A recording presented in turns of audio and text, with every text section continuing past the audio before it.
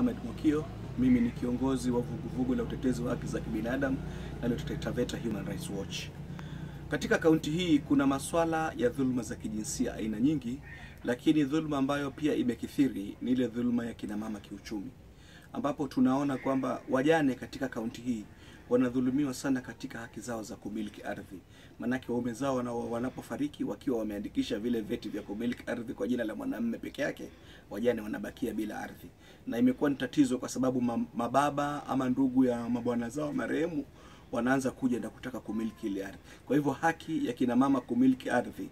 haki ya kina mama masuala ya kiuchumi imekuwa iki ikivunjwa sana katika kaunti hii na imekuwa ni swala nyeti.